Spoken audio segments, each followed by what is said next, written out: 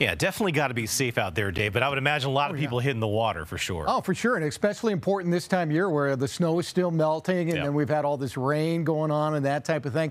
Well, Speaking of big rain, we already have a severe thunderstorm cooking. Take a look at this. This is our lookout mountain camera.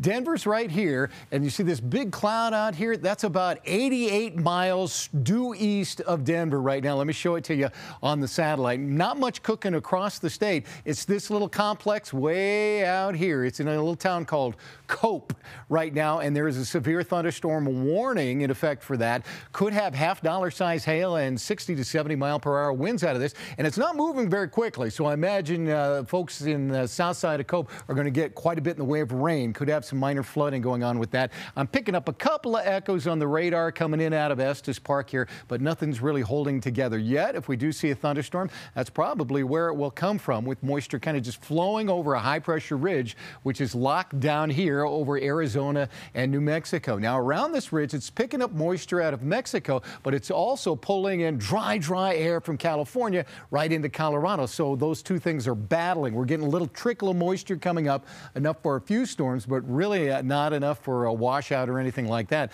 So this afternoon, after about two, we could get a few high base storms over Denver. Severe storms already popping out here over the eastern plains. And as we go through the evening tonight, we could still have just a few sprinkles or uh, oh, a light thunderstorm here uh, till about about 10 o'clock or so. And the stronger ones will be down in southeastern Colorado at that point. So severe thunderstorms just east of Denver, out over the eastern plains going on. 94 for Fort Collins today in Golden. You're looking at 90 degrees, and it should be about 90 in Castle Rock and Parker as well. So a hot day for us. Upper 90s in the southeast. In the mountains, we're looking at 80s, and like Aspen could go to 87 today. Can you believe that? Grand Junction 100, and the rest of the folks, Rangely down to Cortez in the 90s out there on the western slope. So for today, 92 degrees in Denver with late day storms. Not severe for us. They'll probably be more gusty than anything else. However, just east of Denver, all the way out to the Kansas line, we have a moderate to slight chance of thunderstorms in the green shaded area.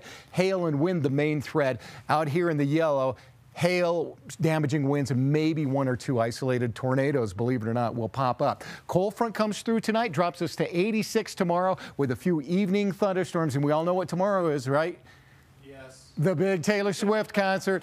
Uh, 6:30 should be in the upper 70s to near 80 degrees with a, about a 20% chance of afternoon showers. So take your rain gear, you may need it. 84 on Saturday, and then bam, we're back into the 90s on Sunday through the better part of next week again. So we went all, all the way through June and most of the early July without any 90s, and now we're just Yeah. Add them all up here as we get into the second half of the month. In the spirit of Taylor Swift, your weather knowledge is bigger than the whole sky. Dave.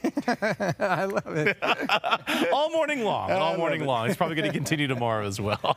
Sure. You're All the right. man. Well, you're the man. Dave. All right. Coming up, cleanup efforts continue after a tornado hit Highlands Ranch at the end of June. Many of you know that. Where you can still drop off tree limbs this week.